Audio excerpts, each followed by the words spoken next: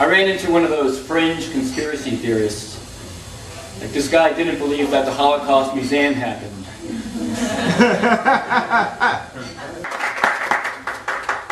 I think it's interesting that when they when a when a restaurant earns an A, when the health the county health inspectors are doing the inspection, you know they're inspecting the uh, condition of the facilities mostly, right? But not the um, mental mindset of the employees. I think that should at least count for something.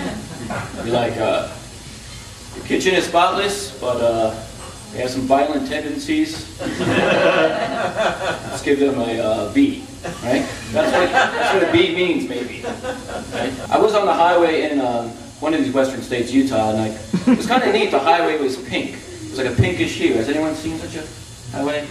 It was almost as if they left the uh, a red sweater in the wash with the with the road. I had that weird thing happen to me in the bathroom though, where you like you think you're a vampire for a moment. You know, it's like I had my hands under the sink, ready for the water to come out, but it never came out.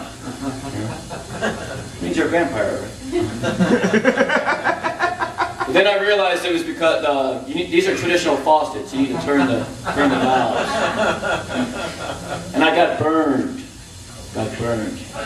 Well, you know what happens? This invariably happens. I uh, I only have enough energy to turn on one faucet, you know, and it usually ends up being the hot one.